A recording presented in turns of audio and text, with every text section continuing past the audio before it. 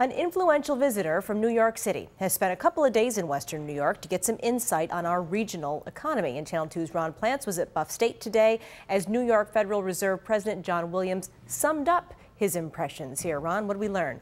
Well, John Williams, as the New York District Federal Reserve Bank president, was really in the area, in the town uh, here, to kind of take the temperature of the Western New York regional economy and see if it's healthy. Apparently, he thinks it is. And it was explained during his presentation before Buffalo State students this morning. Williams spoke of his meetings with government and business leaders, including M&T Bank CEO René Jones there. The, he also sits, by the way, on the Federal Reserve Board, helping to advise on policies.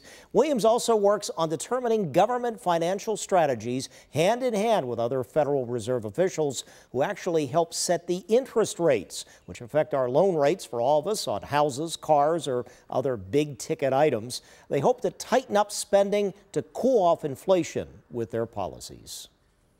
Now the focus is really about getting inflation back down to 2% uh, and, uh, and doing that in a way that hopefully uh, keeps the economy uh, uh, growing as best as we can. His job really is to oversee the stock market uh, in New York City and to make sure that markets are moving appropriately and that their policies are carried out. So that's going to be his job. So he's probably the most important of the regional presidents.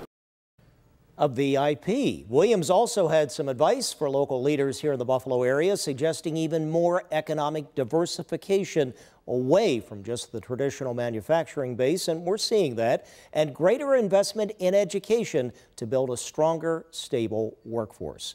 Speaking of education, Kate, I hope you were paying attention. There will be an exam. we might be in trouble there, but I did learn something, so thank you, Ron. There you go.